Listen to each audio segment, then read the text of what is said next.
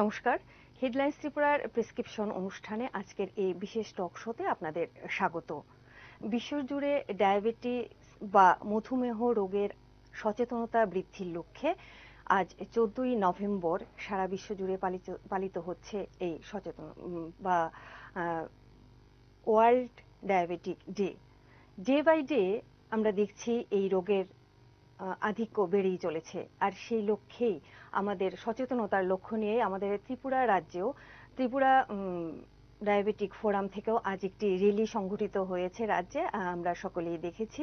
তো জানব আজকের এই বিশেষ দিনের তাৎপর্য এবং খুব পরিচিত এই রোগটি সম্পর্কে। আমাদের স্টুডিওতে আজ রয়েছেন diabetic consultant doctor Mridul Das. তিনি এমবিবিএস এমডি এবং সিএমডি এবং পেশাদারি দায়িত্বে রয়েছেন আইজিএম হসপিটালে। অনেক অনেক স্বাগত আমাদের স্টুডিওতে স্যার। নমস্কার। তো প্রথমে যেটা জানতে চাইব খুব পরিচিত একটি নাম ডায়াবেটিস। আজ ঘরে ঘরেই এই রোগটির একেবারেই প্রাধান্য বল- যায় রোগের ব্যাপারে। তো আজকের দিনের বিশেষ তাৎপর্য মানে ওয়ার্ল্ড ডায়াবেটিক ডে আজকে পালন করা হচ্ছে সারা বিশ্ব জুড়ে। জানব আজকের দিনটিকেই কেন বেছে নেওয়া হয়েছে চোদ্দই নভেম্বরকে এবং কি তাৎপর্য এর? আজকে চোদ্দই নভেম্বর বিশ্ব ডায়াবেটিস দিবস বা ওয়ার্ল্ড ডায়াবেটিস ডে। এটা শুরু হয়েছে উনিশশো একানব্বই সালের চোদ্দই নভেম্বর থেকে। আমাদের ইন্টারন্যাশনাল ডায়াবেটিস ফোরাম এবং ইন্টারন্যাশনাল ডায়াবেটিস ফোরাম তথা ডায়াবেটিস ফেডারেশন যেটা আচ্ছা। এবং বিশ্ব স্বাস্থ্য সংস্থা মানে ওয়ার্ল্ড হেলথ অর্গানাইজেশন মিলে এই রোগের ভয়াবহতা এবং যে আধিক্য। প্রচণ্ড ভাবে ওটা এপিডেমিক হিসেবে বেড়ে যাচ্ছে সেটার ব্যাপারে সচেতনতার জন্য আহ, প্রতি বছর যেন সেটাকে পালিত হয় সেজন্য চোদ্দই নভেম্বর প্রতি বছর আহ, বিশ্ব ডায়াবেটিস দিবস হিসেবে আহ, চিহ্নিত করা হয়ে গেছে এবং সেটা আচ্ছা। পালন সারা বিশ্ব জুড়ে সেলিব্রেট হচ্ছে। এখন ব্যাপার হচ্ছে এই দিনটা কেন? আমরা জানি যে আগে ডায়াবেটিসের কোনো চিকিৎসা ছিল না। এবং ডায়াবেটিসের ডায়াবেটিস হলে মানে মৃত্যু। সেই জায়গা থেকে আমরা যেদিন ইনসুলিন পেয়েছি সেই থেকে আমাদের ইতিহাস বদলে গেছে আচ্ছা। ডায়াবেটিসের। তো ইনসুলিন আবিষ্কার করেছেন ফ্রেডরিক বেন্টিং নামে একজন বিজ্ঞানী। আচ্ছা। উনি এবং ওনার সহযোগী চার্লস বেস্ট মিলে এই ইনসুলিন আবিষ্কার করেছিলেন। আচ্ছা। এবং ওনাকে শ্রদ্ধা জানাতে উনি নোবেল বিজয়ী আচ্ছা, আহ, ইনসুলিন আবিষ্কারের পর উনি নোবেল পুরস্কার পান এবং ওনারকে শ্রদ্ধা জানাতে ওনার জন্মদিনটিকেই চোদ্দই নভেম্বরকে বিশ্ব ডায়াবেটিস দিবস হিসাবে বেছে নেওয়া হয়েছে। তো এই রোগটির তাৎপর্য যদি এই মানে আজকের দিনটি তাৎপর্য যদি বলেন এটা মানে তাৎপর্যের কোনো পরিসীমা মধ্যে এটাকে বাধা যাবে না। ব্যাপারটা হচ্ছে ডায়াবেটিস যেভাবে হুহু করে বেড়ে যাচ্ছে এটাকে এখন এপিডেমিক বলা হয়। Diabetes epidemic. আচ্ছা। সেই এপিডেমিকটাকে রুখতে হলে মানুষের মধ্যে যে সচেতনতা জাগিয়ে তুলতে হবে সেই বিশ্বময় যে প্রয়াস সেই হ্যাঁ অ্যাওয়ারনেস সেই বিশ্বময় যে সচেতনতার প্রয়াস সেটাকে প্রতি বছর এই চোদ্দই নভেম্বরে উজ্জীবিত করা হয় এবং সেটার সারা বছর সেটার প্রোগ্রাম ফিক্স করা থাকে সেই প্রোগ্রামগুলো চলতে থাকে। তো আচ্ছা মানে এই দিনেই কর্মসূচি এই দিনে কর্মসূচিগুলি আগেই ঠিক করা হয় এদিন থেকে শুরু হয়ে যায় কর্মসূচি। তো এই যে আজকের যে দিনটা এটা কিন্তু একটা বিশেষ ভাবনা আছে থিম বলে যেটা। আজকের এবছরকার বিশ্ব ডায়াবেটিস দিবসের থিম হচ্ছে অ্যাক্সেস টু ডায়াবেটিস কেয়ার আপনি ভাবলে অবাক হবেন যে ইনসুলিন আবিষ্কার হয়েছে আজ থেকে একশো বছর আগে। শতবর্ষ পরেও আমাদের পৃথিবীতে প্রায় তেষট্টি লাখ। সরি তেষট্টি কোটি জনগণ ডায়াবেটিসে ভুগছে। আমাদের ভারতবর্ষের সংখ্যা সেভেন পয়েন্ট সেভেন জনে হ্যাঁ একজন। দশ জন। মানে পরিসংখ্যানে এটা বলা হয়েছে যে নজনের মধ্যে একজন এখন। আচ্ছা। সেই যে এই যে অবস্থাটা এই অবস্থাটা পরিপ্রেক্ষিতে আমরা এই ডায়াবেটিস দিবসে আমরা কিছু গুচ্ছ প্রোগ্রাম নিয়ে থাকি যে এই ইয়েতে ডায়াবেটিস রোগটা ভয়াবহতা রুখতে হলে যে জনগণের কাছে পৌঁছতে হবে রুগীদের কাছে পৌঁছতে হবে সেটা এতদিন চিন্তা করা হয়নি। এবছর সেই থিমটাকে আনা হয়েছে যে অ্যাক্সেস টু ডায়াবেটিস কেয়ার। মানে ব্যাপারটা হচ্ছে এই যে বললাম আমি। প্রায় তেষট্টি কোটি লোক পৃথিবীতে ডায়াবেটিসে আক্রান্ত এবং আরও কয়েক কোটি লোক আছে যাদের যাদের ডায়াবেটিস আছে কিন্তু এখনও ধরা পড়েনি মানে ডায়াগনোসিস হয়নি। তো এই লোকগুলোর কাছে পরিষেবা কি করে পৌঁছবে? আমাদের শহরাঞ্চলে আমরা কিছু ডাক্তার আছি। আপনি ভাবতে পারেন যে আগরতলা শহরে শুধুমাত্র ডায়াবেটিসের চিকিৎসা করে এরকম ডাক্তারের সংখ্যা চোদ্দ থেকে পনেরো জন। আর ত্রিপুরার আর বাকি বাদ বাকি যারা চিকিৎসা করছেন মেডিসিন ফিজিশিয়ান যারা ওরা চিকিৎসা করছেন। এখন কথা হচ্ছে এই যে পপুলেশন ডায়াবেটিসে ভুগছে তার ফিফটি পার্সেন্ট লোকও সঠিকভাবে ডায়াবেটিসের চিকিৎসাটা। পাচ্ছে না। ওরা পাচ্ছে না। কি আচ্ছা। করতে হবে কি ওষুধ খেতে হবে কোথায় যেতে হবে? আজকে যারা সচেতন একটু ওরা যাচ্ছে ডাক্তারের কাছে টেস্ট করছে বা জানার চেষ্টা করছে ডায়াবেটিসটা কি। ডায়াবেটিস হলে কি করতে হবে সেটাই জানে না। অনেক অনেক কোটি কোটি লোক আছে পৃথিবীতে। তো ভাবতে পারেন তো আমাদের এই যে সমস্যাগুলো এগুলো থেকে উত্তরণের জন্য এবছরকার থিম নেওয়া হয়েছে অ্যাক্সেস টু ডায়াবেটিস কেয়ার। মানে ডায়াবেটিসের যে চিকিৎসা ব্যবস্থা সেটাকে উপলব্ধ করতে হবে তাদের কাছে পৌঁছতে হবে তাদেরকে চিকিৎসাটা পৌঁছে দিতে হবে ডায়াবেটিস রোগীদের। এজন্যই আজ এই আজকের এই দিনে এই ভাবনাটা নেওয়া হয়েছে। এবারে জানব মানে রোগটি সম্পর্কে মানে রোগটি কি এবং কীভাবে আমাদের শরীরে কি করে বা কীভাবে বুঝব আমরা আমাদের আমি একজন ডায়াবেটিক হ্যাঁ। পেশেন্ট। আচ্ছা। ডায়াবেটিস রোগটা হয় সাধারণত ইনসুলিনের কারণে। এটা একটি বলব লাইফস্টাইল ঘটিত রোগ। মানে লাইফস্টাইল আমরা যেভাবে চালাবো একটু উল্টাপাল্টা হলে পরে তারপর হ্যাঁ রোজকার যে জীবনযাত্রা সেটার উপর নির্ভর করছে আমাদের ডায়াবেটিস কত তাড়াতাড়ি হবে কত তাড়াতাড়ি হবে না সেগুলো। ডায়াবেটিস রোগটা কেন বলছি? এটা এমন একটা রোগ যেটা নাকি একটু উল্টোপাল্টা চলা চালচলন চলাফেরা খাওয়া দাওয়া এগুলো করলে পরে তার ডায়াবেটিস হওয়ার সম্ভাবনা অনেক বেড়ে যায়। আচ্ছা। ডায়াবেটিস হলে কি হচ্ছে? মেইনলি ইনসুলিন আচ্ছা। ইনসুলিন কি করছে? ইনসুলিন শরীরের মানে আমাদের রক্তের সুগারটাকে শরীরের কোষে কোষে পৌঁছে দিচ্ছে। এবার ওই ইনসুলিন যদি না থাকে বা ইনসুলিনের কাজকর্ম যদি ব্যাহত হয় বা অকেজো হয়ে যায় তাহলে কি হচ্ছে? আমাদের রক্তে প্রচুর পরিমাণ সুগার আছে কিন্তু সুগারগুলো শরীরের কোষে কোষে ঢুকতে পারছে না। ঠিক আছে? তো- ওই কি মানে আলটিমেটলি ওই শরীরের সুগারগুলো রক্তের মধ্যে থেকে যাচ্ছে আর কোষগুলো পাচ্ছে না। যার ফলে যাদের ডায়াবেটিস আছে হাই সুগার আছে হাই সুগার বারে বারে খিদে পাচ্ছে। কেন পাচ্ছে? কারণ আমাদের কোষগুলো খাওয়া খাবার পাচ্ছে না সুগার পাচ্ছে না সুগার হচ্ছে হ্যাঁ হ্যাঁ সুগার হচ্ছে ওদের খাবার। ওরা সিগন্যাল পাঠাচ্ছে হুম। যে আমাদের খাবার দাও খাবার দাও। ব্রেইন তখন আমাদের খিদের জায়গাটাকে মানে নাড়া দিচ্ছে। এই তুমি খাবার খাও তুমি খাবার খাও কোষগুলো সুগার পাচ্ছে না। কিন্তু সুগারের তো অভাব নেই শরীরে প্যাথোলজিটা ডিফেক্টটা হচ্ছে আমাদের ইনসুলিনের উপর।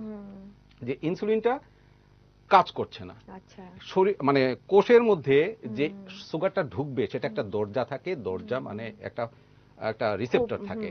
ওইটার মধ্যে একটা তালার মতো ব্যবস্থা থাকে যেটা ইনসুলিন নামক চাবি দিয়ে খুলে দিলে দরজাটা দিয়ে সুগারটা ঢুকবে।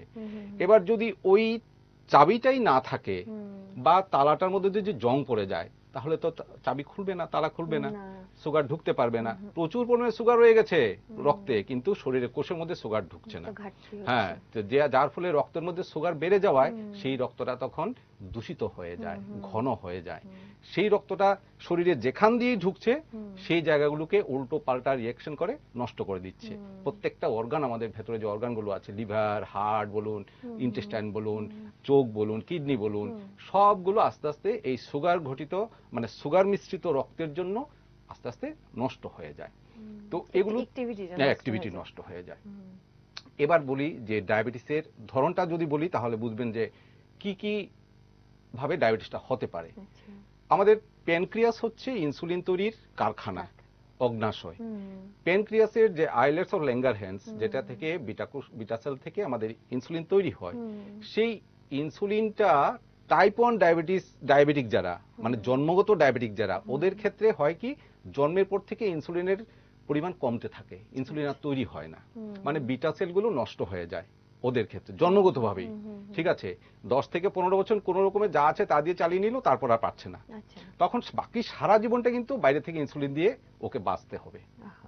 টাইপ ওয়ান আর টাইপ টু কি হচ্ছে? ইনসুলিন বেরুচ্ছে ইনসুলিন আছে। বয়সকালে কি হচ্ছে? একটা সময় ইনসুলিন প্রোডাকশনটা কমে যাচ্ছে।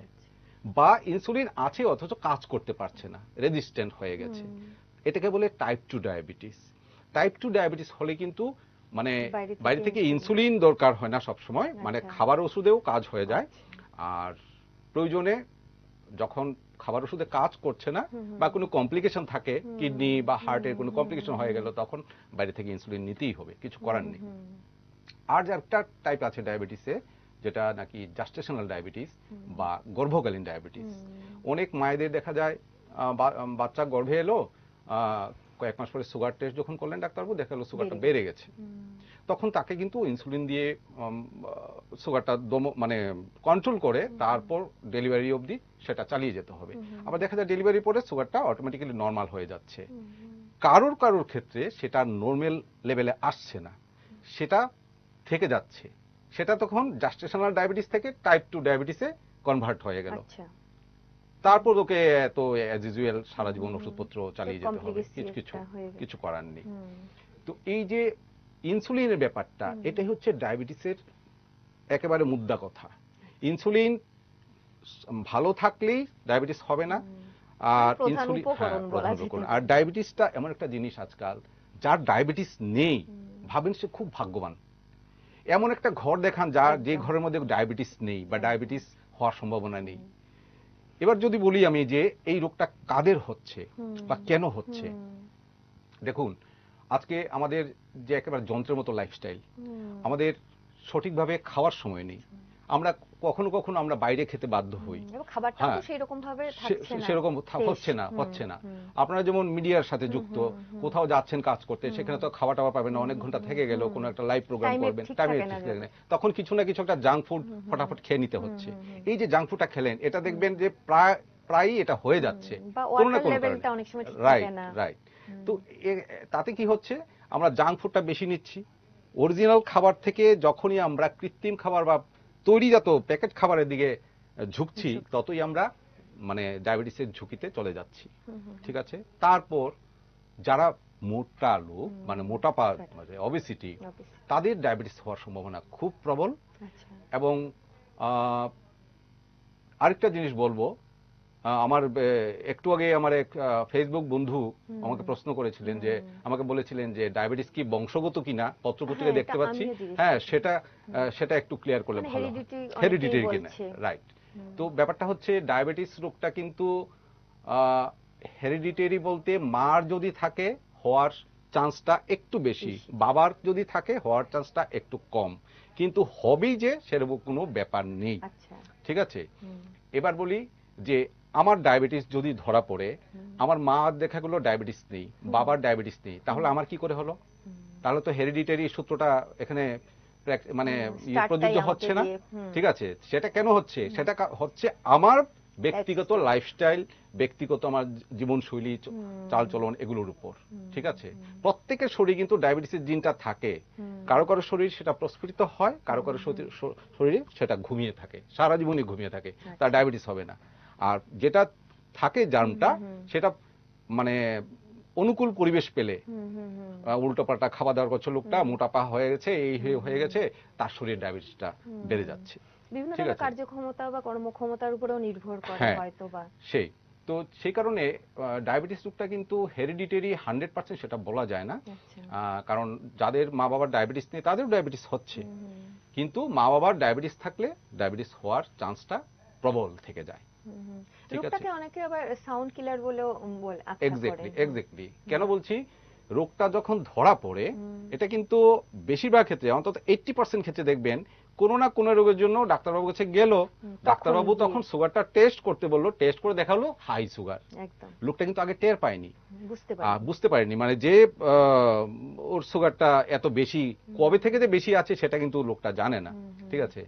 এবার হচ্ছে কি অনেকের ক্ষেত্রে দেখা যায় কোনো কারণে টেস্টই করল না বছরের পর বছর।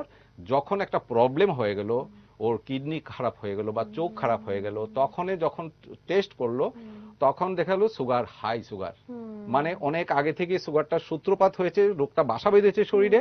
কেয়ার করেনি টেস্ট করেনি। যখন একদম মানে বিগড়ে গেছে সব সিস্টেম তখনই ধরা পড়ল যে ওনার সুগার আছে।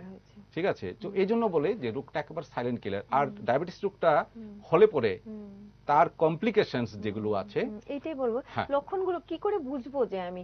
এর জন্য কি ধরনের সচেতনতা নেওয়া দরকার রেগুলার লাইফস্টাইলে আমার? রাইট রাইট আমি বলছি ডায়াবেটিসের দেখুন লক্ষণগুলো যদি বলি যে সাধারণভাবে তিনটে কার্ডিনাল সাইন থাকে বেশি করে জল তেষ্টা পাওয়া বারে বারে জল তেষ্টা পাওয়া। একটু পরপর খিদে পাওয়া। আচ্ছা। ঠিক আছে? আর বেশি করে বাথরুমে যাওয়া পেচ্ছাপ পড়া। এই তিনটা। হ্যাঁ? পলিফেজিয়া মানে বেশি করে খাওয়া। হ্যাঁ হ্যাঁ হ্যাঁ রাইট রাইট পলিফেজিয়া পলিইউরিয়া আর। পলিডিপসিয়া এই তিনটে হচ্ছে মেইন কার্ডিনাল সিমটম এছাড়া যেগুলো আছে সেগুলো হলো ধরুন কোথাও কেটে গেল কাটা দেখবেন ঘাসও করছে না। অপারেশনের অপারেশন যারা করবে তারা কিন্তু সুগার কন্ট্রোল কন্ট্রোল না হলে কিন্তু অপারেশনটা করবে না ডাক্তারবাবু। অনেকেরই ধরা পড়ে অপারেশন হ্যাঁ, টেবিলে যখন টেস্ট করানো হয় তখন। আহ, এ কারণে সুগার কন্ট্রোল না হলে কোনো সার্জনই কোনো অপারেশন করবে না। কারণ সুগার যদি কন্ট্রোল না থাকে তার ঘা শুকোবে না ভেতরে বাইরে কোথাও ঘা শুকোবে না।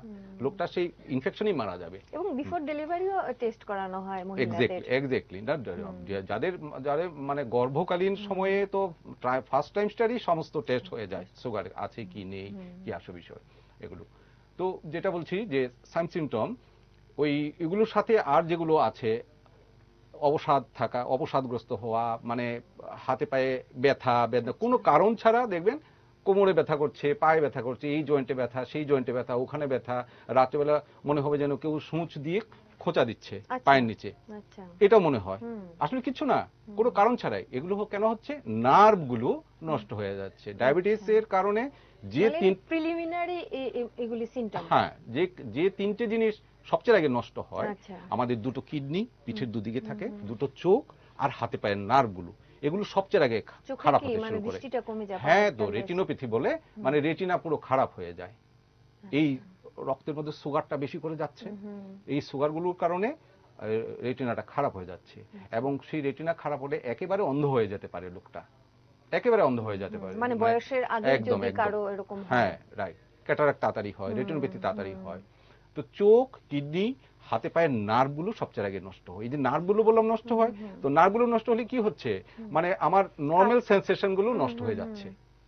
সেখানে বিনে কারণে ব্যথা বিনে কারণে আমার মনে হচ্ছে যে কিছুটা সময় এক জায়গায় বসলেন পা ঝিন মানে একটা অবশ্যই এ- যাচ্ছে। exactly, exactly, এটা অনেকে বলে হ্যাঁ, একটা হ্যাঁ, হ্যাঁ। সেটাও একটা সিমটম তা তো এই যে জিনিসগুলো এগুলো হচ্ছে প্রাথমিক কমপ্লিকেশন ডায়াবেটিসের তারপরে আস্তে আস্তে আপনার হার্ট আপনার লাংস আপনার লিভার পেটের নাড়িভুড়ি চামড়া চুল সব কিছু নষ্ট হয়ে যায়। ডায়াবেটিস হচ্ছে মেইন কারণ শরীরের সমস্ত অর্গানগুলোর ড্যামেজের জন্য। সুতরাং আমার কিডনি ভালো রাখতে হলে ডায়াবেটিসকে কন্ট্রোল করতে হবে। আমার হার্ট ভালো রাখতে হলে ডায়াবেটিসকে কন্ট্রোল করতে হবে। প্রত্যেকটা অর্গানকে যদি ভালো রাখতে হয় ডায়াবেটিসকে কন্ট্রোল করতেই হবে। এটা হচ্ছে মূল মন্ত্র। ঠিক আছে? আচ্ছা এবার আসছি কি কি জটিল মানে কমপ্লিকেশন কি কি হয়? কমপ্লিকেশন হ্যাঁ কমপ্লিকেশন বলছি যে দেখুন হাতে পায়ের নার্ভগুলো যখন এত নষ্ট হয়ে যায় যে লোকটার সেন্সেশন একেবারেই নষ্ট হয়ে শেষ হয়ে যায় একটা সময় আসে। মানে শেষ পর্যন্ত কি কি হয়? পায়ের কোথাও একটা খোঁচা লাগল সেই খোঁচাতে ওর ওখানে ইনফেকশন হয়ে গেল। আর যেখানে ডায়াবেটিস মানে কি রক্তের মধ্যে সুগার ভরপুর। আর যেখানে সুগার সেখানে জীবাণু। জীবাণু জন্মায় জীবাণু গ্রোথ বেড়ে যায়। তো ওই ইনফেকশনের মধ্যে গ্রোথগুলো বাড়তে বাড়তে বাড়তে বাড়তে পায়ে পচন ধরে যায়। একটা সময় পা কেটে ফেলতে হয় রুগীটাকে বাঁচানোর জন্য। প্রথমে আঙুল কাট কাটতে হয় অ্যাঙ্কেল কাটতে হয় তারপরে এমনকি হাঁটুর নিচেও কাটতে হয়। ঠিক আছে? তো এগুলো হচ্ছে এগুলো হওয়ার পেছনে কারণটা তো সময়ে মানে চিকিৎসা না করানো। সময় চিকিৎসা না করা এবং সঠিকভাবে চিকিৎসাটা না করা। ওই যে বললাম যারা ডায়াবেটিক তার ফিফটি প্রিলিমিনারি বা পার্সেন্ট লোক প্রাথমিক যে সিমটম গুলি যদি দেখে কেউ সচরাচর আপনাদের কাছে গেলে পরে তো এগুলি বুঝতে পারবে যে তার ডায়াবেটিক হয়েছে। তখন আর এই প্রবলেমগুলো সে ফেস করতে পারছে দরকার হচ্ছে না। সেই সেই। তো এই যে ব্যাপারগুলো সেগুলো এই কমপ্লিকেশনগুলো দেখবেন যে প্রত্যেকটা জিনিসের মূল হচ্ছে ডায়াবেটিস ইনসুলিনের এই ব্যর্থতা বা ইনসুলিনের অ্যাবসেন্স হ্যাঁ? তো এই যে ডায়াবেটিসটা এটাকে কন্ট্রোল করতেই হবে। আর আমরা এই ডায়াবেটিসটাকে কন্ট্রোল করার জন্য এই তো সব প্রোগ্রাম আমাদের এই চোদ্দ নভেম্বরে বিশ্ব ডায়াবেটিস দিবস আমাদের চেম্বারে রুগী গেলে আমরা কাউন্সিলিং করি। ডায়াবেটিস রোগটা কিন্তু আর চার পাঁচটা রোগ সর্দি কাশি পেট খারাপ জ্বর এরকম নয়। এটা একটা কমপ্লিকেটেড রোগ এবং এটার একবারে মানে প্রথম থেকে শেষ অবধি লোকটার সমস্ত কিছু মেনটেন করতে হবে তার খাওয়া খাদ্য মেনটেন করতে হবে তার মানে এক্সারসাইজ একদম একদম না একদম না। ডায়াবেটিস রোগটা একবার বাসা বাঁধলে এটার থেকে মুক্তি নেই। ডায়াবেটিস রোগের কমপ্লিকেশনে মৃত্যুটা এমনিতেই ধরুন আমরা একটা লোকের মানে বয়স যদি আয়ু যদি ধরি আমরা আশি থেকে নব্বই বছর বা একশো বছর এমনিতেই তিরিশ থেকে চল্লিশ বছর মৃত্যুটা এগিয়ে আসবে। আচ্ছা। ডায়াবেটিস হলে পরে। এবার লোকটার উপর ডিপেন্ড মানে করছে যে ওষুধ খাওয়ার পর খাওয়ার পরও সম্ভাবনা থাকে। আচ্ছা। এবার যদি আমি সেই রোগটাকে প্রতিহত মানে মৃত্যুটাকে মৃত্যুটা এগিয়ে আসছে সেটাকে প্রতিহত করতে পারি তাহলে কিন্তু মৃত্যুটাকে ঠেকিয়ে রাখতে পারব। যে যত বেশি নিয়ম কানুনগুলো মানবে। এবং ওষুধপত্র ঠিকঠাক ভাবে খেয়ে যাবে সে মৃত্যুটাকে ঠেকিয়ে রাখতে পারবে। সেই নিয়মগুলো যদি ঢিল দেয়। মানে কোনো ধরনের নেগলিজেন্সি করে তাহলে মৃত্যুটা এগিয়ে। আসবে। ঠিক আছে? তো এইগুলো থেকে বাঁচতে হলে আমরা যেগুলো বলি আর কি যে কীভাবে আমরা চিকিৎসা পদ্ধতিগুলো। চালাই ডায়াবেটিসের। রোগীদের সেগুলো হচ্ছে আমি সেগুলোকে ব্যক্তিগতভাবে চার ভাগে ভাগ করি প্রথমত তার খাওয়া খাদ্য খাওয়া খাদ্য ব্যাপারে আমি দেখুন আমার ক্লিনিকে যখন পেশেন্ট যায়। সবচেয়ে প্রথম নতুন রুগী এলে তাকে আগে কাউন্সিলিং করা হয় হ্যাঁ। কাউন্সিলিং মানে ডায়াবেটিস সম্বন্ধে বোঝানো হয় হ্যাঁ। কীভাবে কি করতে হবে কি করবে না সেগুলো বোঝানো হয়। সেগুলো আমার সেটাই তো দরকার তার হ্যাঁ, লাইফস্টাইলের জন্য রেকর্ডে আমার রেকর্ড করা পনেরো মিনিটের একটা কথা আছে সেগুলো প্রত্যেকটা রোগীকে শোনানো হয়। চেম্বারে গেলি আমার ক্লিনিকে গেলি প্রথমে এটা শোনানো হয়। তারপর যখন আলটিমেটলি টেস্ট ফেস্ট করে আমার কাছে আমার চেম্বারে ঢুকছে পেশেন্টটা তারপর আমি পার্সোনালি আবার ওকে কাউন্সিলিং করি প্রথম যখন রোগীটা এলো। তারপর তো ফলো আপ হচ্ছেই মাসে মাসে বা দু মাসে। তো যদি পেশেন্ট সব মানে মেনে চলে। হ্যাঁ ডিসিপ্লিন লাইফস্টাইল মেনে যদি চলে। তারপর দেখুন এই খাওয়া খাদ্যর ব্যাপারটা এক নাম্বার যেটা নিয়ম বলছি আমাদের খাওয়া খাদ্যটা এমনভাবে চুজ করতে হবে যে কার্বোহাইড্রেটটা যেন বেশি থাকে। আচ্ছা।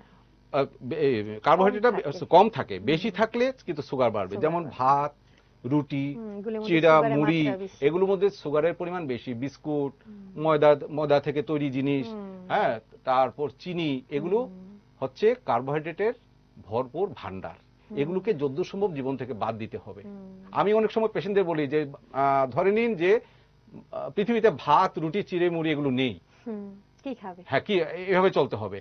শুধু শাকসবজি ফ্রুটস। আচ্ছা। ঠিক আছে? যদি পারেন সেভাবে চল- চলতে তাহলে আপনি অনেক বছর বাঁচবেন। গ্যারান্টি একবার গ্যারান্টি দিয়ে বললাম। আর যদি না পারেন তাহলে কিছু করার নেই। তবে আমাদের শরীরে শর্করা মানে কার্বোহাইড্রেটের দরকার আছে। কিন্তু তার পরিমাণ একটা নির্দিষ্ট থাকবে। সময় পর্যন্ত। আপনি হয়তো ভাবলে অবাক হবেন যে আমরা যতদূর মানে এভারেজ যতখানি ভাত খাই প্রতিদিন তার অ্যাকচুয়ালি চার ভাগের এক ভাগ আমাদের শরীর চলাচলের জন্য দরকার হয়। মানে আমার জীবন যাপনের জন্য দরকার হয়। বাকি তিন ভাগ কেন খাই? আমাদের পেটের সুখের জন্য উদর পূর্তির জন্য ঠিক আছে? ওই জিনিসটাকে বুঝতে হবে এবং সেটাকে বাদ দিতে হবে। ওটাকে মেনু থেকে বাদ দিতে হবে আস্তে আস্তে। অর্থাৎ আমাদের থালার যেটুকু পরিমাণ ভাত ছিল সেটাকে সরিয়ে দিয়ে সেই জায়গাটাকে সেই জায়গাটাকে মানে। শাক সবজি দিয়ে ভরতে হবে। শাক সবজি নাটস ফ্রুটস স্যালাড এগুলো দিয়ে ভরতে হবে ঠিক আছে? হ্যাঁ এবং সাথে প্রোটিন থাকবে সাথে ডাল ফাল এগুলো মানে পালসেস যেগুলো সেগুলো থাকবে। প্রচুর পরিমাণে শাক সবজি যে খায় তার কিন্তু অনেক ফায়দা আছে অনেক লাভ আছে। ঠিক আছে? সাথে ওই অনেক সময় বলা হয় না যে নিউবর্ন বেবির দুধের মধ্যে চিনি গুলে দিও না। চিনি। এখন থেকে চিনি কম খাওয়া চিনি কম বড় বড়দের একটা অ্যাডভাইস থাকে অনেক সময়। বা ডক্টরসরাও বলে না চিনি দেওয়া দরকার। বাচ্চার বোনের জন্য চিনিটা দরকার আছে। এটা কি বলবেন আপনি? ব্যাপারটা কিন্তু হচ্ছে দেখা যাচ্ছে আজকাল শিশুদেরও অনেকেরই হয়ে যাচ্ছে। আমি একটা মুদ্রা কথা বলি। চিনিটা শুধু মুখেই মিষ্টি। মুখের মধ্যে মিষ্টি। আচ্ছা। মুখ পেরিয়ে যখন চিনিটা ভেতর দিকে যাচ্ছে তারপর থেকে শুধু ক্ষতি আর ক্ষতি। চিনিটা শুধু ক্ষতি করে যাচ্ছে। আপনি একটা আমাকে সেলিব্রিটি বলুন যারা ধরুন ফিল্মের লাইনে কাজ করে বা খেলোয়াড় ওরা কখনো চিনি খায়? এটা খোঁজ নিয়ে দেখুন কেউ চিনি খায় না। টোটালি বয়কট চিনি। মিষ্টি জাতীয় কোনো একদম একদম টোটালি বন্ধ ঠিক আছে? চিনিটা শুধু মুখেই মিষ্টি বাদ বাকি শুধু ক্ষতি করে। বাদ শুধু ক্ষতি আর ক্ষতি। এজন্য চিনিটাকে জীবন থেকে বাদ দিয়ে দেওয়াই সবচেয়ে ভালো। যার ডায়াবেটিস নেই তারও বাদ দিয়ে দেওয়া ভালো চিনিটাকে। তো যেটা বলছিলাম এই খাওয়া খাদ্যের ব্যাপারটা এমনভাবে চুজ করতে হবে যেন আমার শরীরে কার্বোহাইড্রেটটা বেশি করে না বাড়ে। আমি প্রোটিন দিয়ে আমি পেট ভরবো আমি শাকসবজি দিয়ে পেট ভরবো আমি অন্যান্য নার্স পালসেস এগুলো দিয়ে পেট ভরবো কিন্তু ভাত রুটি এগুলো দিয়ে পেট ভরবো না। মানে কার্বোহাইড্রেট এক্স্যাক্টলি এটা আমাকে নিশ্চিত করতে হবে। চায়ের সাথে বিস্কুটও দশ হ্যাঁ, পাঁচটা হ্যাঁ, না হ্যাঁ, গেলা। হ্যাঁ। দুবেলা কিছু ফ্রুটস খাক ছোলা বাদাম এগুলো প্রচুর পরিমাণে খাওয়া যেতে পারে। ভাত খাচ্ছে না বিস্কিটের এক প্যাকেট খেয়ে ফেলছে। তার কোনো লাভ নেই কোনো লাভ নেই। ভাত খাচ্ছে না না খেয়ে তিনটে চারটে রুটি খেলো তাতে লাভ কি হলো? সুগার তো বেরিয়ে যাবে। তো আমাকে দেখতে হবে যে আমি রুটিও খেলাম না আমি যদি এক মানে এক বাটি সবজি খাই এক বাটি ফ্রুট স্যালাড খাই খেয়ে আমি এক গ্লাস দুধ খাই খেয়ে আমি ঘুমিয়ে পড়লাম। সেটা বরঞ্চ ভালো। ঠিক আছে? তো সেই এলো খাওয়া দাওয়ার ব্যাপারটা। টিফিন হিসেবে আমরা বললাম আমি ছোলা বাদাম তারপরে ওটস এগুলো খাওয়া যেতে পারে। হ্যাঁ খেজুর নাটস। খেজুরে তো আবার ইয়ে আছে না না খেজুর খাওয়া যেতে আচ্ছা। পারে। ফলের মধ্যে ফলের মধ্যে বলছি হ্যাঁ আমি ফলের মধ্যে বলছি আম কাঁঠাল লিচু আনারস কলা আচ্ছা। আখ। এগুলোতে সুগারের পরিমাণটা একটু বেশি থাকে। আচ্ছা, এগুলি- তরমুজেও সুগার পরিমাণটা একটু বেশি এগুলি থেকে থাকে। একটু হ্যাঁ বাদ এগুলোতে এগুলো থেকে একটু দূরে থাকতে যে হবে। উম, যার সুগার নেই সে খেতেই পারে। সে খেতে পারে কিন্তু যাদের সুগার আছে তারা অল্প স্বল্প একটু টেস্ট করার জন্য খাবে। সিজনে একটা নতুন আম এসছে ঠিক আছে এক টুকরো আম। খাই সেটা খাওয়া যেতে পারে কিন্তু আস্ত আস্ত আম পেট ভরে খেলো সেটা যেন না করে। কারণ এই আম কাঁঠাল এগুলোতে প্রচুর পরিমাণে সুগার আছে ঠিক আছে? নেই কোনগুলোতে? যেমন আহ, শসা আপেল নেশপাতি তারপর পেয়ারা। এরকম হ্যাঁ হ্যাঁ এই এই যে ফ্রুটসগুলো যেগুলোতে সুগার কম আছে। একটু একটু পানসা আমরা পানসা বলি মানে। মিষ্টি না পানসা বলি। আহ, মুসাম্বি ওগুলো খাওয়া যেতে পারে মুসম্বি খাওয়া যেতে পারে বেদানা খাওয়া যেতে পারে হ্যাঁ সেগুলো খাওয়া যায় সাইট্রাস ফ্রুট মানে সময়ের ফলটা এক্স্যাক্টলি এক্স্যাক্টলি সাইট্রাস ফ্রুটস প্রচুর পরিমাণে খাওয়া যেতে পারে। সারাদিন ফল খাক কোনো অসুবিধা নেই। কিন্তু একটু ওই ফলগুলো বাদ দিতে বাদ দিয়ে খেতে হবে যে আম কাঁঠাল লিচু আনারস কলা আখ এগুলোর জন্য বেশি না খায় দ্যাটস অল খাওয়ার ব্যাপারটা এতটুকুই। এবার আসছি আমি দি- দুই নম্বর যেটা। দ্বিতীয় যে প্রণালীটা আমাদের পদ্ধতিটা। সেটা হচ্ছে exercise exercise is very important. And must for every diabetic patient এবং এই এক্সারসাইজটা আমরা শুধু ইয়ে করার জন্য নয় মানে বেশি করে যে আমি Diabetic লোহা থেকে- লক্কর নিয়ে আমি জিমের মধ্যে গিয়ে আমি এক্সারসাইজ করব কিচ্ছু দরকার নেই। স্টাডিতে দেখা গেছে থার্টি মিনিটস হাঁটা সপ্তাহে পাঁচ দিন যথেষ্ট। দুদিন অফ দিলাম পাঁচ দিন হাঁটলেই হবে। কিন্তু সেই হাঁটাটা যেন সলিড হাঁটা হয়।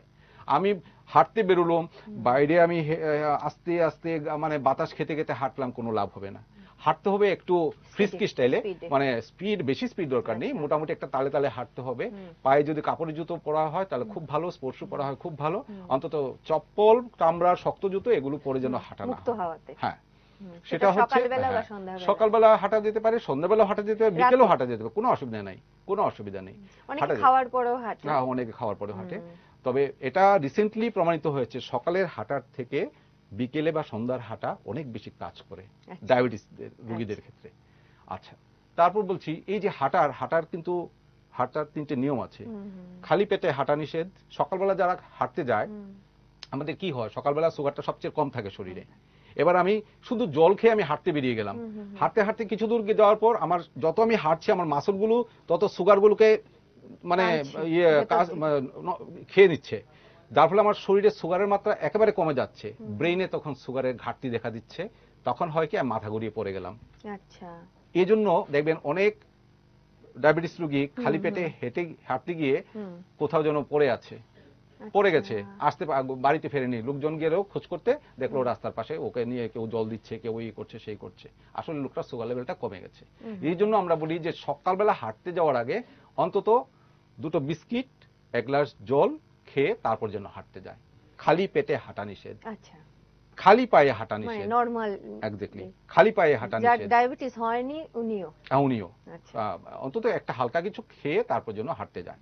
দু নম্বর পয়েন্ট হচ্ছে হাঁটার যে খালি পায়ে হাঁটা নিষেধ।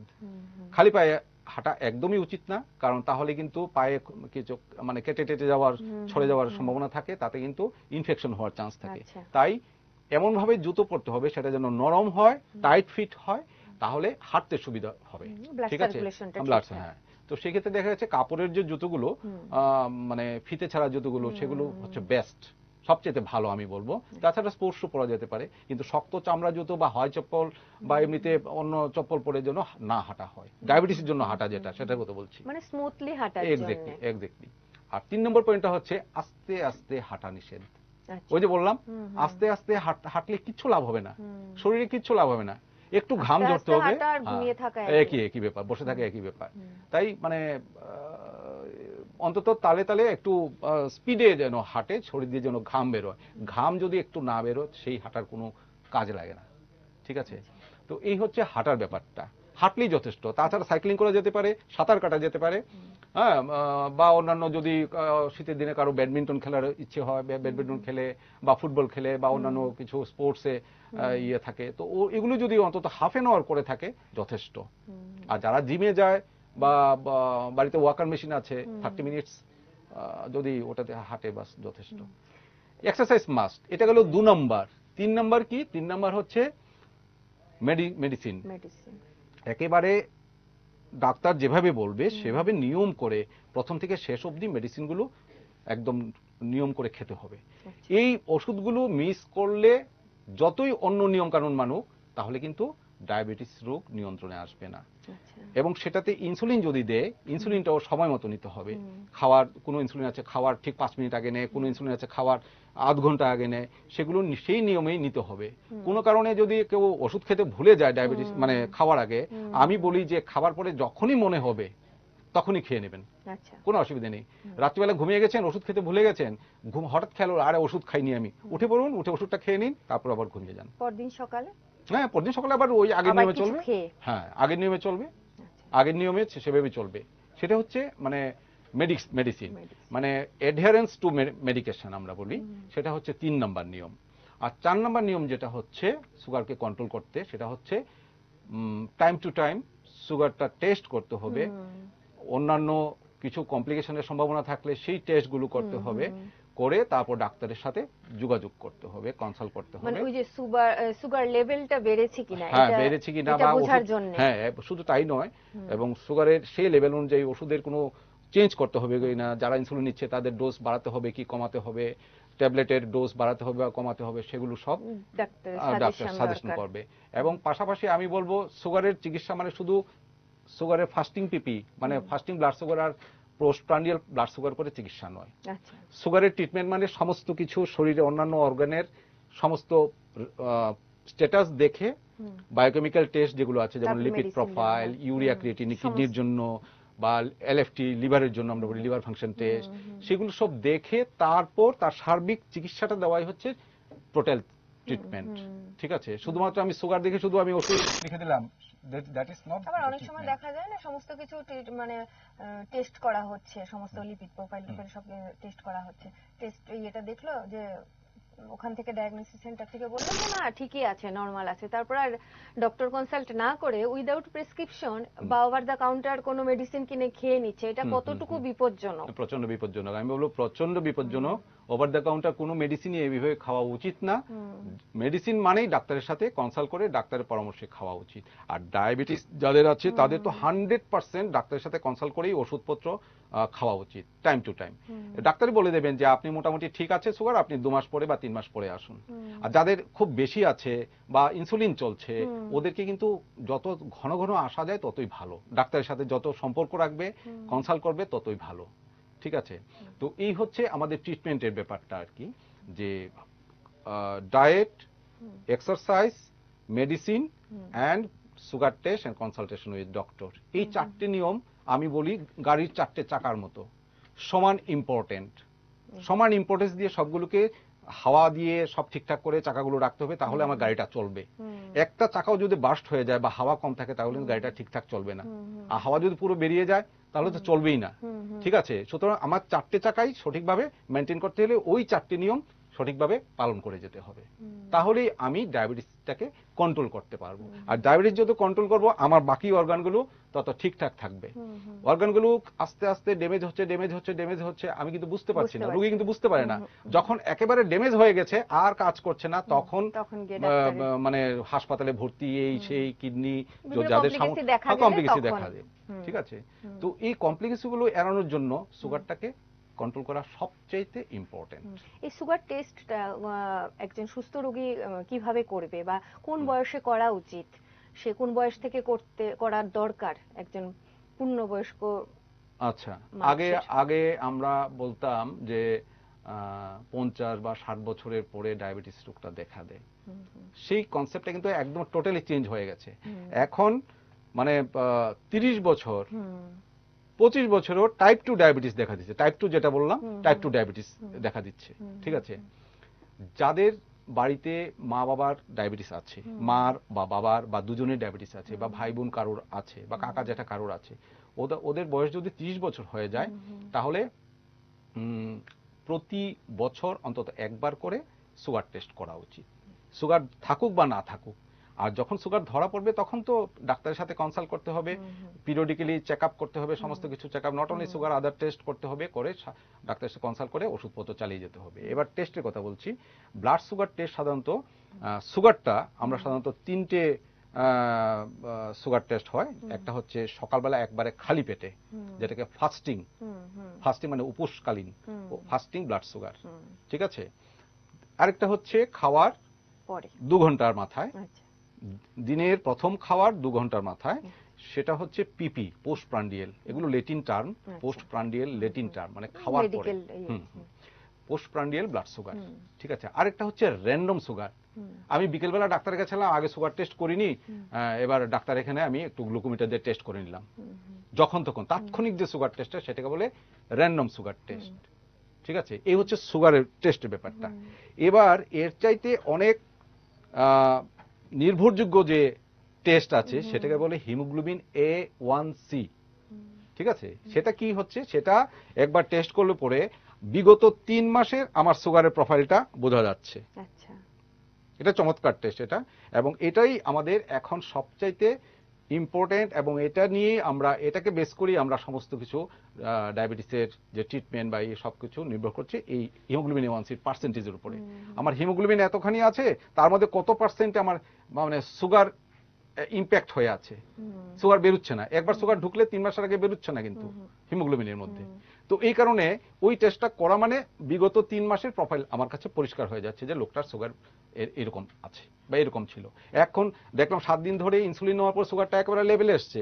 কিন্তু গত তিন মাসে কি ছিল লোকটার সুগার সেটা জানতে হলে আমার ওই হিমোগ্লোবিন এওয়ানসি টেস্টটা করতে হবে। এটা হচ্ছে সুগারের সবচেয়ে নির্ভরযোগ্য টেস্ট আপনারা অনেক সময় বলেন যে দেখা যায় যে কেউ কারও মাথা ঘুরে পড়ল হয়তো বা গলা শুকিয়ে যাচ্ছে তাকে অনেক সময় চকলেট দেওয়া হয়। মানে সুগার লেভেল ঠিক থাকার জন্য। এটা আচ্ছা, কেন? এটা এটা হচ্ছে যাদের হঠাৎ করে সুগার লেভেলটা কমে যায় সেটাকে বলে হাইপোগ্লাইসেমিয়া।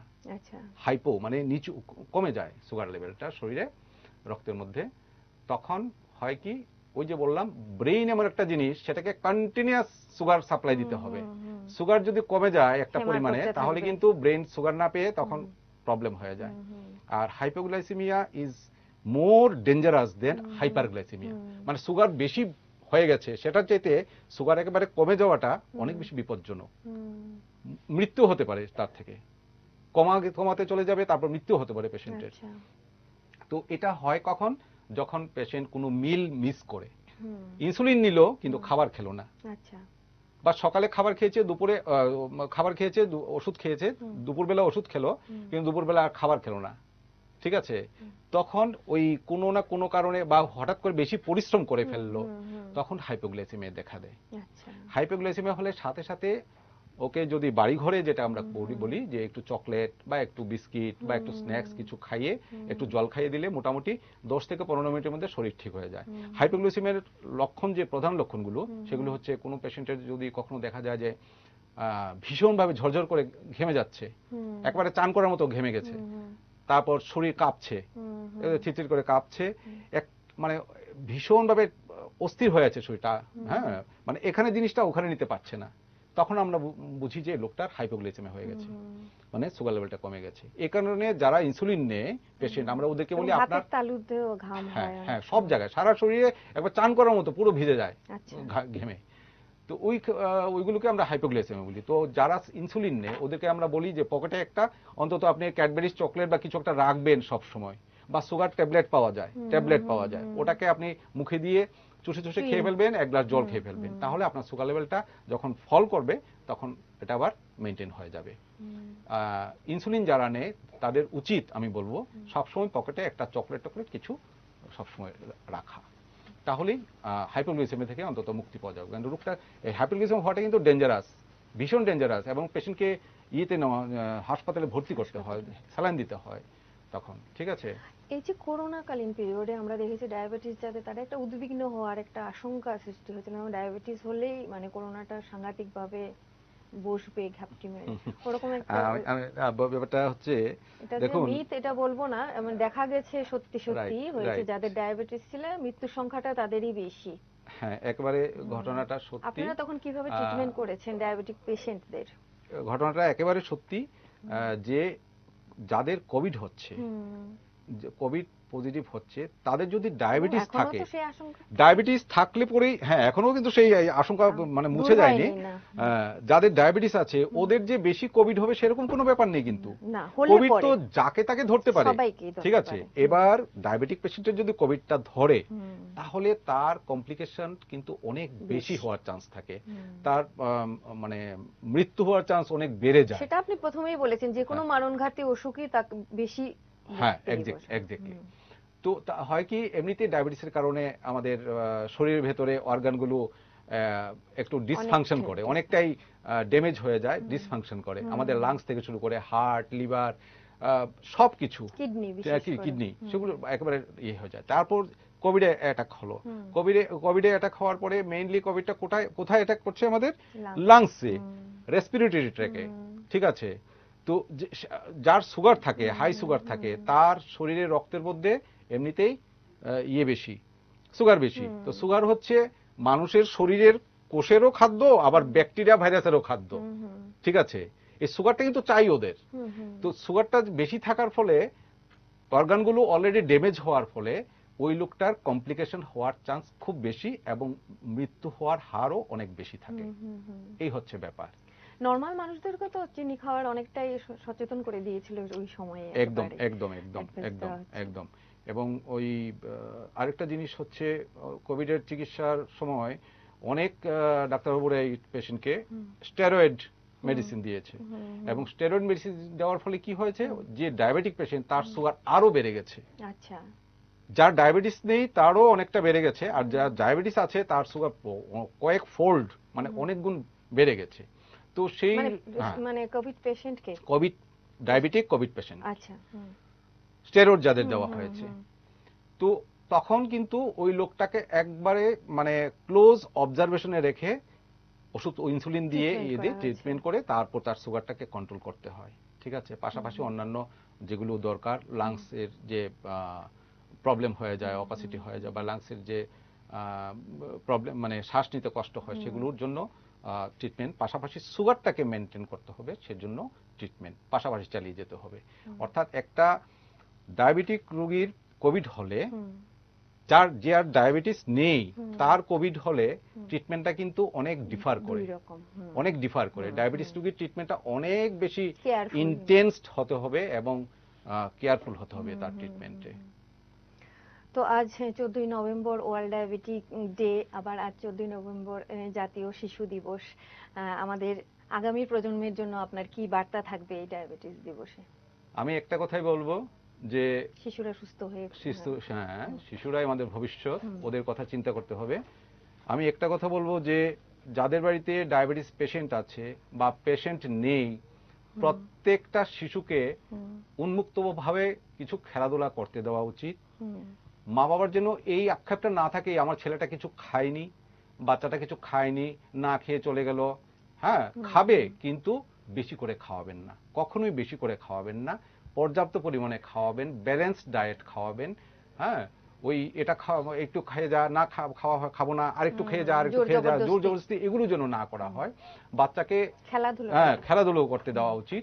খোলা মাঠে বা খোলা জায়গায় কিছু খেলাধুলা দৌড়ঝাঁপ করার মতো খেলাধুলা কিছু করতে দেওয়া উচিত। পাশাপাশি ওর সাথে ওর কোনটা ভালো কোনটা মন্দ কোনটা খেলে ওর ভবিষ্যতে ডায়াবেটিস হতে পারে বিভিন্ন রোগ হতে পারে সেগুলো আস্তে আস্তে আস্তে আস্তে বয়স বাড়ার সাথে সাথে একটু একটু করে বুঝিয়ে দেওয়া উচিত।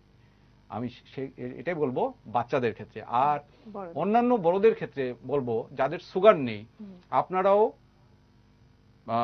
মিষ্টি জাতীয় জিনিস থেকে একটু দূরে থাকবেন। প্রতিদিন অন্তত 30 মিনিট এক্সারসাইজ করবেন। হ্যাঁ। এক্সারসাইজ করবেন এবং প্রচুর পরিমাণে দৈহিক কাজকর্ম করার চেষ্টা করবেন। যে যত অলসভাবে জীবনযাপন করে তার শরীরে কিন্তু রোগের বাসা হয়। লোকে বলে যে অলস মস্তিষ্ক নাকি শয়তানের। শয়তানের বাসা। আমি বলব যে অলস শরীর রোগের বাসা। হ্যাঁ সুতরাং শরীরকে অলসতা থেকে মুক্ত করে একটু চনমনে ভাবে চলাফেরা করতে থাকুন। দেখবেন অনেক রোগ থেকে মুক্ত থাকবেন, ভালো থাকবেন। আপনাকে অনেক অনেক ধন্যবাদ। আজকে আমাদের এতগুলো সুন্দর সুন্দর তথ্য দেওয়ার জন্য আমরা অনেক সমৃদ্ধ হলাম এবং আমার দর্শকরা অনেক সমৃদ্ধ হলো।